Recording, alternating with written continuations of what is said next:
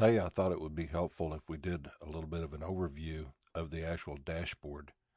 So when you click on the Home tab, it'll take you to your dashboard, at which point you can see your tickets, and each one of these columns are customizable, so you can add or take away any of these columns that you want to take away from so that you don't have as many columns on the dashboard. And I think there's a maximum number of columns you can have. But anytime you want to sort all the tickets on your dashboard, and right now we're looking at all tickets, so we can sort these by date simply by clicking here. And whenever you do, it'll sort them from the oldest to the latest.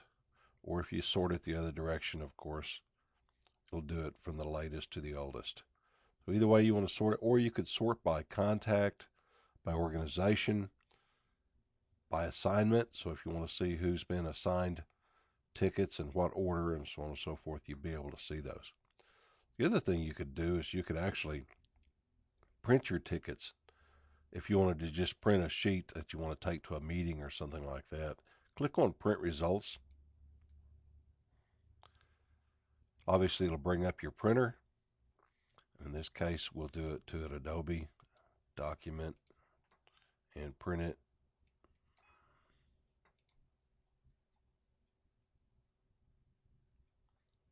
And there you go.